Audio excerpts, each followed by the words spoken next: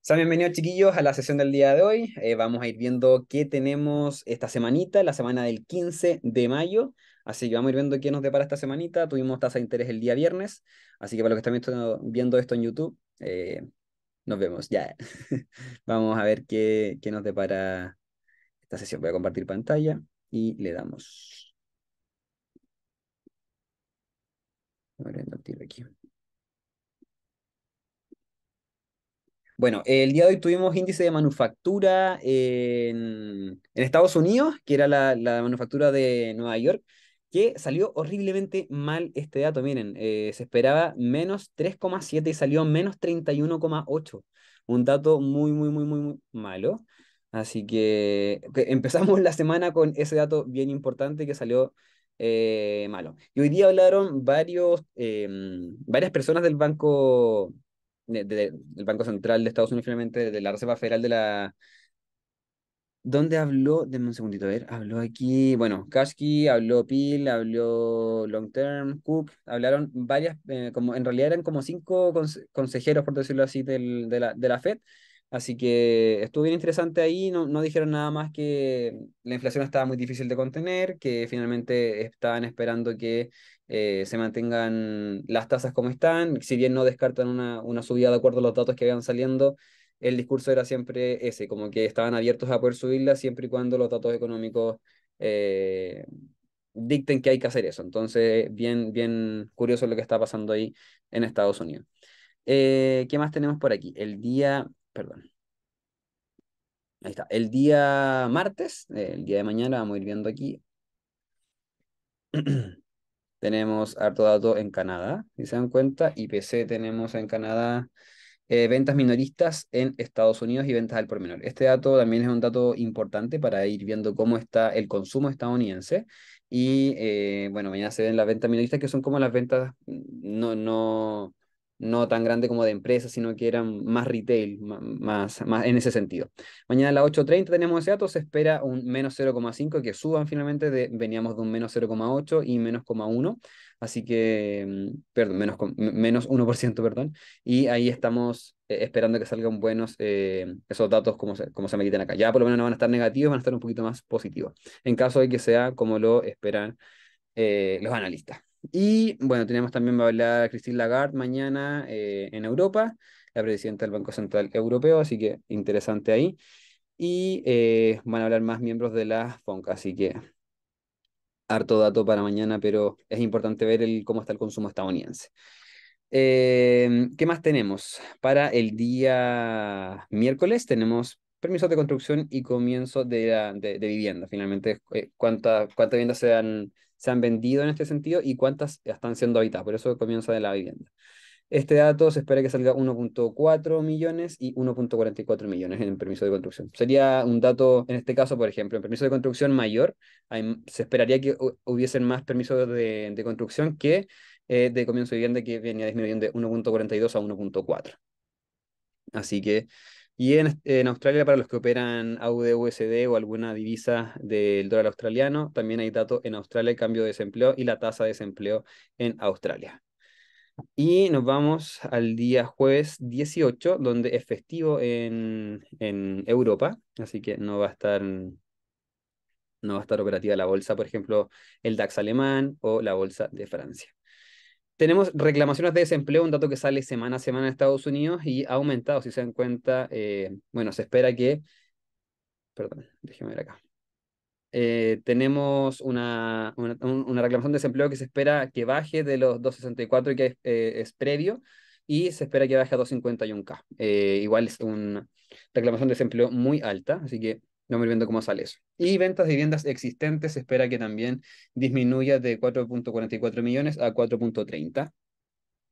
Pero hay datos más que, más que como datos relevantes, es un dato como que sale toda la semana. Así que a esperar también el día jueves, día importante. Y habla aquí Jerome Powell el día viernes, eh, va a ir dando declaraciones, así que ese día también van a estar bien movidos los mercados el día, el día viernes. Pero es la única información relevante, o, por decirlo así, como más, importante, y después viene eh, que habla Christine Lagarde en el Banco Central Europeo. Así que el día viernes lleno de discursos que va a ser interesante escuchar por lo menos a Jerome Powell.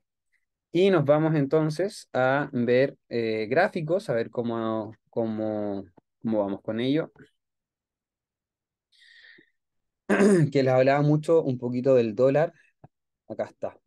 El dólar lo estábamos esperando en 7.73 y hoy día lo tuvimos. Un segundito aquí.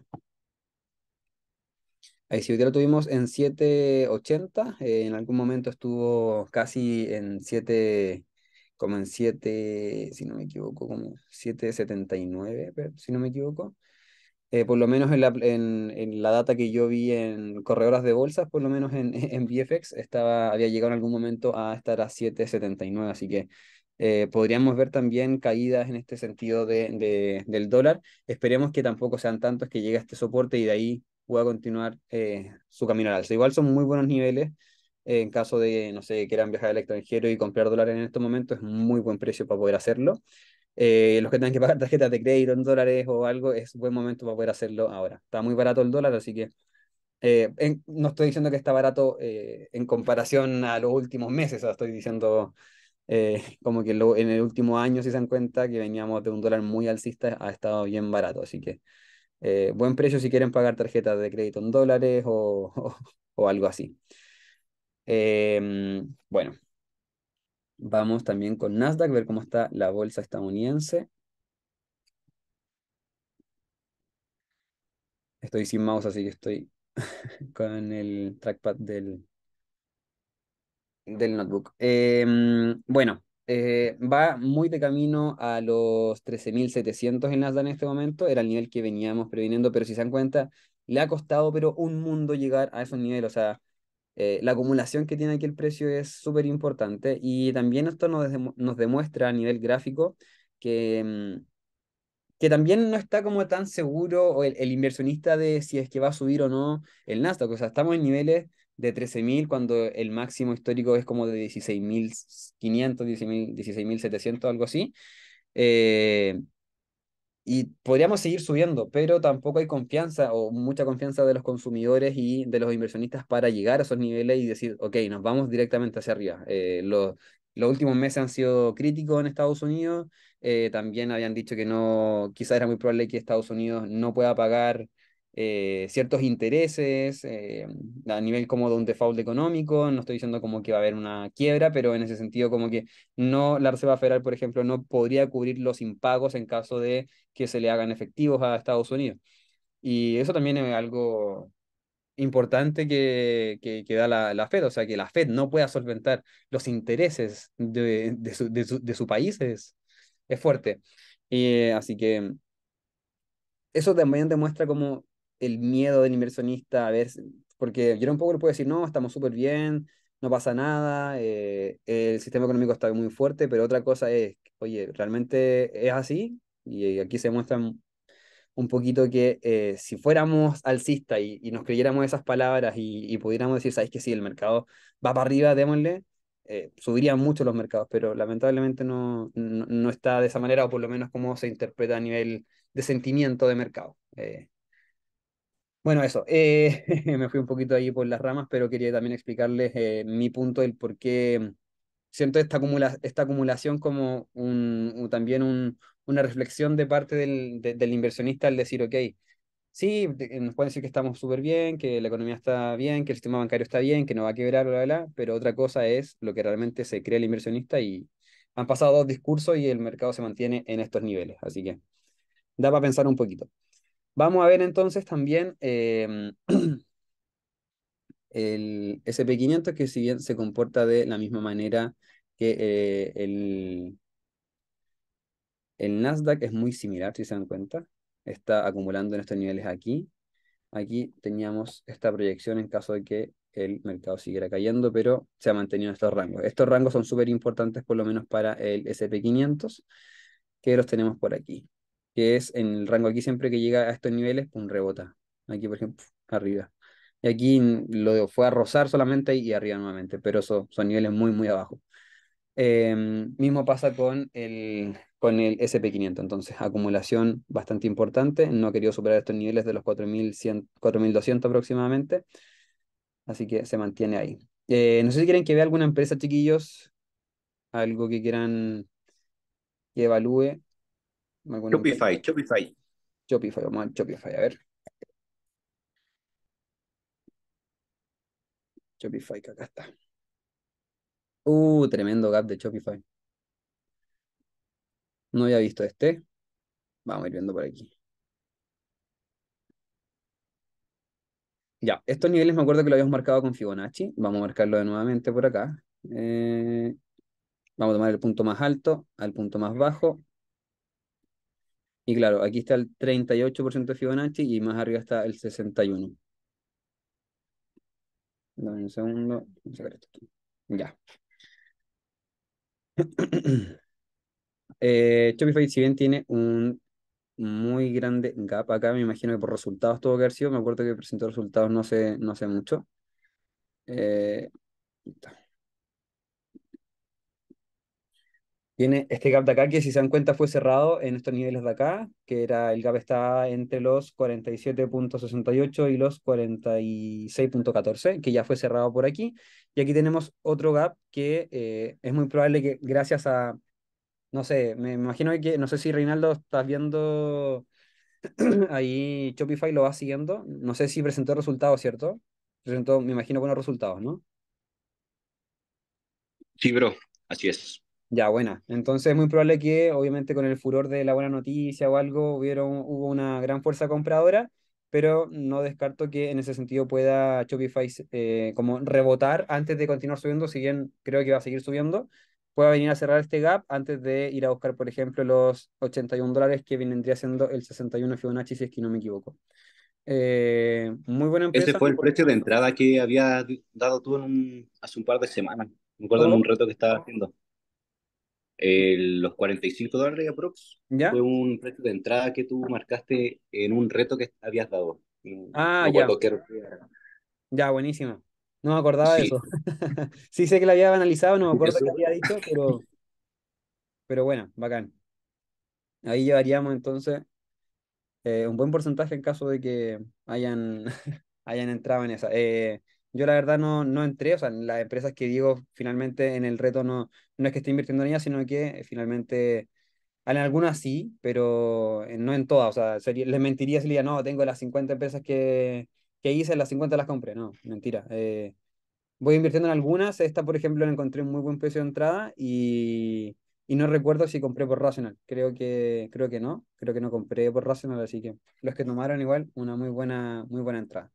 Eh, no descarto sí que pueda venir a buscar nuevamente estos niveles para cerrar el gap y de ahí continuar subiendo. No sé si lo va a hacer ahora o puede que mm, vaya directamente a los 81 ahora, pero en algún momento tiene que venir a cerrar esos gap, ya que nos hemos dado cuenta que siempre que hay gaps se van a cerrar. Y nos ha pasado varias veces que vamos a ver gráficos antiguos que analizamos en algún momento y ustedes mismos se han dado cuenta que revisamos y el gap se fue, se fue a cerrar y después continuó subiendo o se cerró y siguió cayendo. Pero bueno, es parte de. Eh, así que qué buena que salió buena esa, esa, esa análisis de esa operativa, pero va a ir directamente a buscar los 81 eh, una vez cierra el gap o va a ir directamente para allá. Pero una de esas dos opciones claramente sí o sí, pero sí o sí va a llegar a los 81. Eh, netamente por gráfico, por cómo está dándose el, el, precio, yo creo que estos fueron muy buenos, muy, muy malos, no sé si malos resultados financieros o algo, porque esto fue el octubre del 2022, cuando ya no estábamos tanto en pandemia, o sea, ya la pandemia había pasado, como el, el, furor finalmente de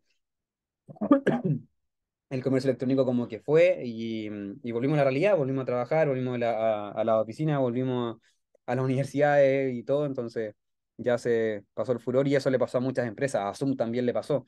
Zoom estaba mm, valores de acción muy, muy, muy alto, claro, en plena pandemia, porque era su negocio, pero ya después que empezó a pasar la pandemia, que volvieron a la oficina, volvió la presencialidad, ya eso fue descartándose y, y la acción realmente mm, volvió a los precios que normalmente debería haber estado sin una pandemia. En este caso, Shopify me acuerdo que explotó mucho en pandemia también, netamente porque había gente que quería invertir en, en comercio electrónico, ya que Shopify es como para hacer dropshipping, si no me equivoco. Así que me imagino que por eso fue ese- esa caída, pero en sí sigue siendo una muy buena empresa, o sea, en lo personal siento que es un muy buen modelo de negocio y es rentable para la gente que lo sabe ocupar, así que encuentro que es una buena empresa. Eh, eso, no sé si quieren ver alguna otra empresa o, o lo dejamos hasta ahí, ¿no? Bro, eh, a mí me Cuéntame, interesa una empresa que he estado viendo hace poco, que es Etsy. No sé si la ¿cómo ubicas. ¿Así? Ed, S, S e Y. Etsy, acá. ¿A qué se dedica? No, nunca he hecho la empresa, no la había escuchado nunca. Es básicamente de e-commerce también. Ahora Ah, es muchas como personas están... Sí, es similar a Shopify. Bueno, vamos a ver acá, a ver.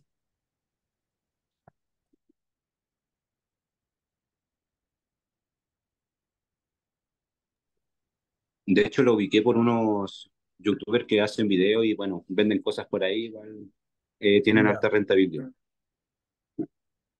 Mm, a ver, déjame ver aquí un poquito. A ver si fue un retroceso o algo. ¿A dónde llegó? Si fue un retroceso, o sea, nosotros sabemos que el retroceso se confirma cuando por lo menos el mercado llega al 23%, ya es un retroceso confirmado, pero en este caso no llegó al 38% y, y como que no tiene mucha pinta de volver a subir. O sea, aquí, por ejemplo, está rebotando en estos niveles, que ni siquiera lo ha, lo ha ido a tocar, que son los, los 97, perdón, los 87.87 acá. Pero no sé si no, no, mira, no lo alcanzó a tocar y de hecho está un poquito más abajo. Ahí. Los 87.59 y viene cayendo por desde enero de la fecha, bueno, más atrás, pero en esta en este canal que hizo en el retroceso viene cayendo y empezó a hacer mínimos cada vez más bajos. O sea, aquí tenía un gap, también lo fue a cerrar para continuar cayendo. O sea, el gap no se fue a cerrar para una subida, se fue a cerrar para continuar cayendo. Y aquí, por ejemplo, está haciendo mínimos cada vez más bajos, este mínimo más bajo que este, este más bajo que este, este, este alto es más bajo que este. Está haciendo mínimos cada vez más mínimos, por decirlo así, y altos cada vez más bajos. Entonces, este, este alto más bajo que este, este más bajo que este. Entonces, no sé si tiene buena pinta como para que vaya a subir. O sea, yo pensaría en este sentido que la empresa comenzaría como con un retroceso importante cuando supere los 123 o vaya a buscar también los 150, que son niveles que ya por lo menos aquí, oye, mira, está subiendo más de la cuenta, está, le ganó el mínimo de acá, vamos a ver si sigue haciendo mínimos, o sea, máximos, perdón, pero sí o sí me voy, voy a ver que son buenos niveles de compra o, o que van a una tendencia alcista cuando pase los 150, que es acerca al 38% de Fibonacci, que era el retroceso que habíamos hecho acá. Pero, mientras tanto, no, siento que no, no tiene como pinta de comenzar a subir, no tengo idea por qué. Eh, pero podríamos ir, por ejemplo, a buscar en los 87 o en los 67 y ahí ir ver si va a ir cayendo en ese sentido. Eh, hay una pregunta aquí, déjame verla. Y verlo, y verlo a largo plazo. A ver. Claro, o sea, si me preguntas por entrar en estos momentos, yo no sería buena entrada, pero también tiene la incertidumbre de que pueda seguir cayendo, o sea, nada te indica que pueda continuar al alza. Viéndolo aquí, a ver.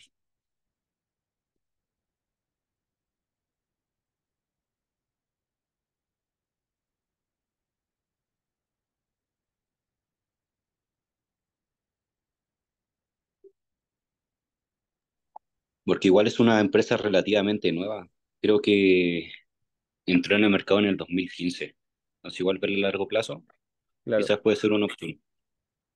mira, espérame. Aquí, si te das cuenta, como viéndolo ya desde el mínimo que hizo en, déjamelo acá, en marzo del 2020, y si te das cuenta fue pandemia, ahí como que despegó la empresa, si te das cuenta hizo buenos, buenas pasadas, pero aquí mira, por ejemplo, podríamos verlo así. O sea, si te das cuenta, va, sigue en una tendencia alcista, eh, por más que vengamos bajista últimamente, seguimos alcistas como en el largo plazo, viéndolo, por ejemplo, desde, mar- desde el 2020 hasta la fecha, casi tres años, eh, o tres años, sí, son tres años un poquito más. Verlo hasta, hasta ahora, claro, va justo a buscar quizás esto, esta directriz que viene desde el año 2020 y siempre y cuando no se rompa esa directriz sería como un buen punto de compra para ir a buscar buenos niveles. Si una empresa buena y es como Shopify, que también es un mercado súper bueno, como les comentaba, siempre y cuando no, como que no rompa esta directriz bajista, todo bien, pero en caso de que la rompa, romperíamos una directriz alcista que vendría desde hace más de tres años. Entonces, igual teniendo en cuenta eso, no sé, habría que, que evaluarlo, pero, pero por técnicamente, no estoy diciendo que por estados financieros o algo, no sé, no conozco la empresa, pero si técnicamente tiene, eh, por ejemplo, esta, estas señales, bueno, si va a tocarlo sería un buen punto, sería un muy buen punto de compra porque vendría cada vez que tocó esta directriz, eh, tuvo movimientos alcistas, entonces aquí sería lo mismo. Pero si tiene, y además tiene buenos resultados financieros, eh, sería estupenda la empresa. O sea, sería un muy buen punto de compra en estos momentos. Pero como les digo, siempre ir viendo, por ejemplo, que no vaya a romper, por ejemplo, los 87 o que no, si es que lo rompe, no va a buscar más abajo de los 67 porque ya son niveles de muy, muy, muy abajo. Entonces, eso, eh, por lo menos mi, mi, opinión y como lo veo. Eh, si tiene buen estado financiero, yo creo que es un muy buen punto de compra. Siempre y cuando tenga buen estado financiero. Eso. Eh, no sé si tienen más empresas chiquillos o, o alguna divisa o algo lo que quieran. Eso, te voy a mandar un pantallazo de esta Voy a subir al grupo.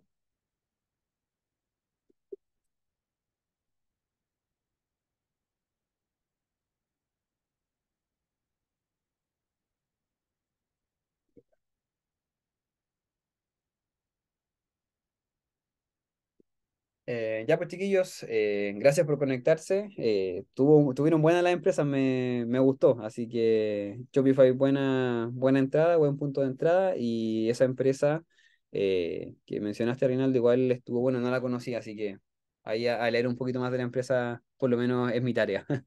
así que eso, que estén súper bien, que tengan una muy buena semana. Mañana atentos también a a las noticias que vayan saliendo. Recordemos que el día viernes es un día importante porque habla Jerome Powell y Christine Lagarde también. Así que eso, un abrazo, que tengan una muy buena semana y nos estamos viendo. Cuídense. Chao, chao.